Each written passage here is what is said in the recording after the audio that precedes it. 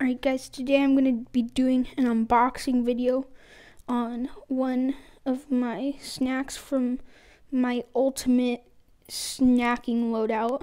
So I'm going to be doing the Swedish fish, so I'll clear the other stuff out. Alright, so the first thing I notice about it is that it looks like there's a wrapper inside. It feels like in, sounds like there's a wrapper inside of there. So I'm just going to take these scissors and open it delicately. Yeah, that seems good. Okay, that should be good. Now I can just rip it open.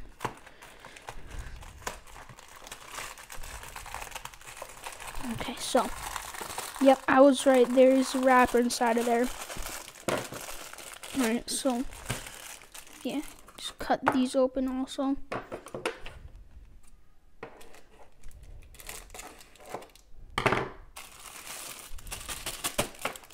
Okay. I'm gonna take one of I'm gonna take one of these and just do a little bit of surgery on it.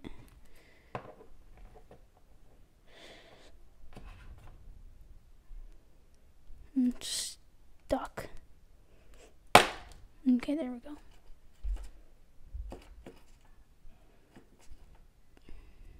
Can't pick it up.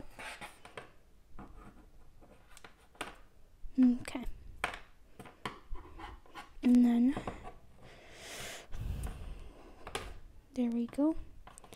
And then take this off of there alright so we got a tail. Put that on there.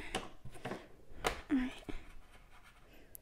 alright so we got the one with two tails and the one with two heads. Okay. So yeah it's pretty nice.